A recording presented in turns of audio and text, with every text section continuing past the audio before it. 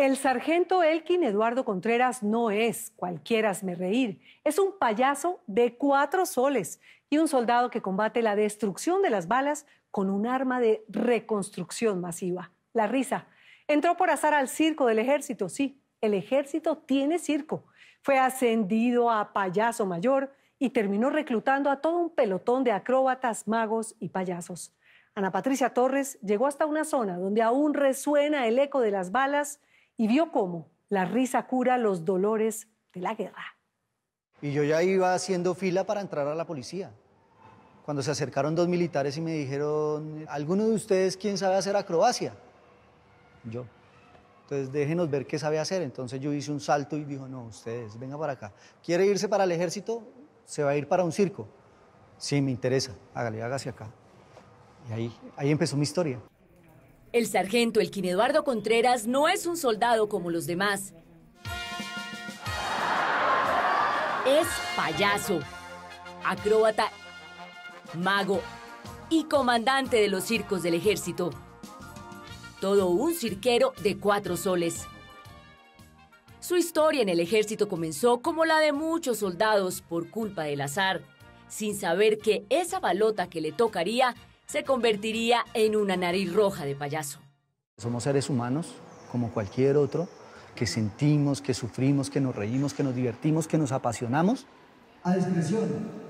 Buenos días. Lo reclutaron en un pelotón de cirqueros que atraviesa ríos, mares y montañas para llegar a los lugares más apartados del país y llevar la única diversión que tienen cientos de familias. Son siete circos y cada uno cuenta con 25 soldados que van de pueblo en pueblo cada mes. Todos funcionan al tiempo. Por eso, mientras un circo está en algún lugar de la selva, otro muestra su espectáculo en la costa, otro en los llanos y otro viaja hasta San Andrés. Y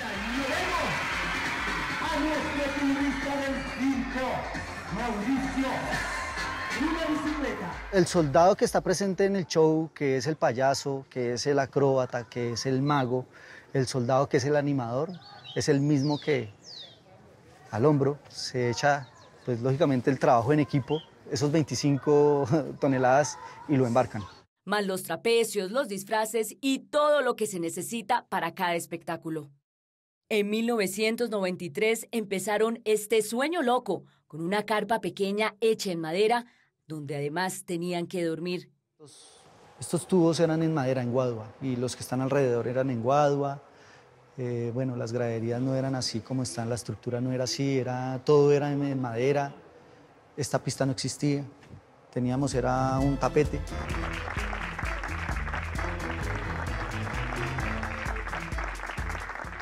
No teníamos alojamientos, todos dormíamos atrás. Yo me acuerdo que ese era eh, detrás de bambalinas y ahí estaba todo, la cama, la cocina, todo estaba allí. Ellos no tienen helicópteros o tanques de guerra, ni la plata de otras operaciones que persiguen grandes delincuentes. Pero como cualquier tropa, tienen que responder con su misión.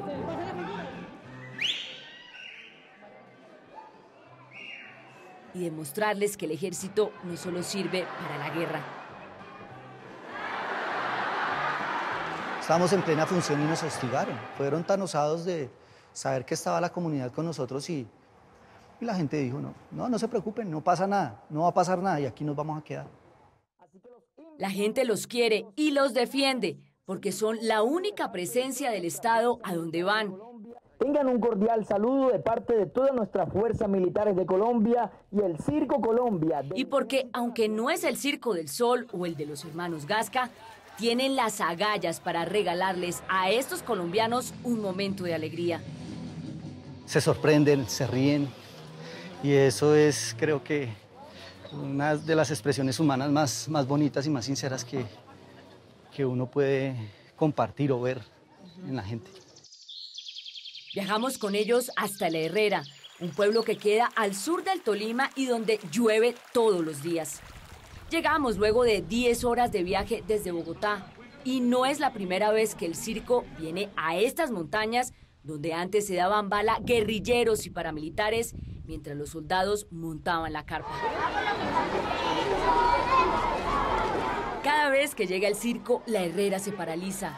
Hacen largas filas para poder tener una silla en la función que es gratuita. Los esperan durante meses porque acá no viene nada de afuera, a nadie se le ocurre subir por estas trochas durante horas para traerles cualquier espectáculo. Hace siete años era difícil el tema de la violencia aquí en la Herrera. Digamos que está en, ese ambiente de, de expectativa que va a pasar, ¿no? Son casi dos horas en las que todo el pueblo cabe en una sola carpa. El panadero, el cura, el vendedor de helados y todos los niños se mezclan en una sola risotada. Se arman con un tubo de PVC y una tabla para emocionar al público. una plataforma, un rodillo y una tabla y las palmas del público, las palmas. Esto es lo más cerca que están del fuego cruzado. Desafían las alturas envolviéndose en largas telas de las que luego se sueltan. Durante su show, Cachiporro no dice ni mu. Solo utiliza señas y algunos sonidos para burlarse de sus amables ayudantes del público con los que monta todo un número. El payaso es esa persona que hay dentro de uno, ese niño que no está pendiente de lo que le digan, sino que él es. Ninguno estudió artes escénicas o fue a una academia a aprender lo que hacen. Todo lo han hecho a punta de ensayo y error. Y empecé a ensayar, a ensayar rutinas, rutinas y ya al poco tiempo fue que me dejaron salir a la pista y empezaron a ver como la, la chispa del payasito Sancocho.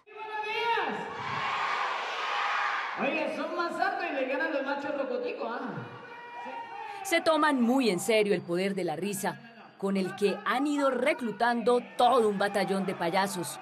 Soldados como Sancochito, que aprendió con la misma disciplina militar los secretos del circo. Detrás del telón, detrás del coreto, eh, uno está pendiente de los gestos, la gesticulación y todo lo que él hacía y entonces uno va robándole esos pedacitos y bueno, y ahí ya uno empieza a copiarse cositas. Obviamente que con el tiempo uno le va dando esa personalidad al propio personaje de nosotros.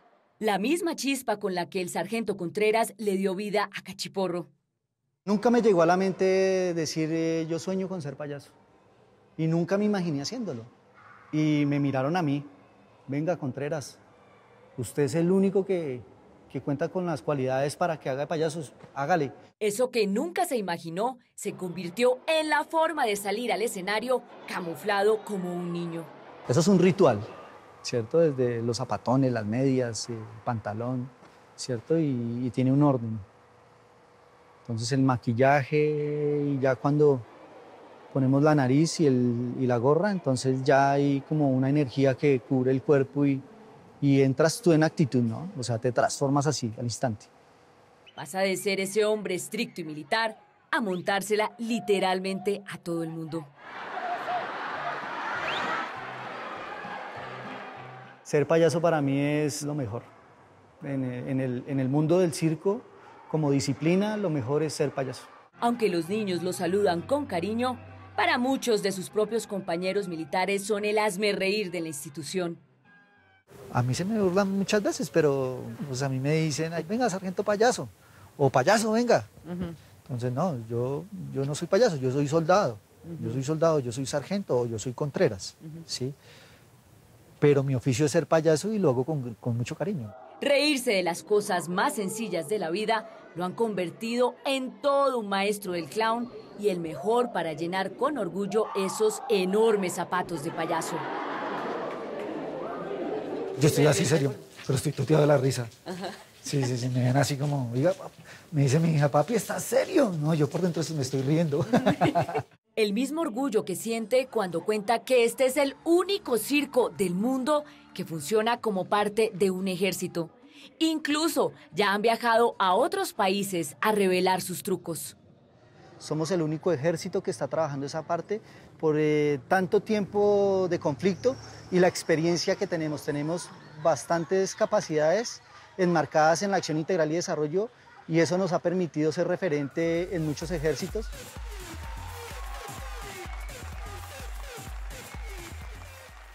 En la Herrera lograron cumplir con su misión, tratar de reconstruir los lazos que la guerra rompió y darles el antídoto para curar la tristeza. Última función del Circo Colombia. Se va el circo, se va la alegría, se va la diversión. Al final del espectáculo, los niños hacen fila para tomarse una selfie con sus superhéroes de carne y hueso que les repiten como un mantra que todo lo que imaginen pueden convertirlo en realidad con la varita mágica de la alegría.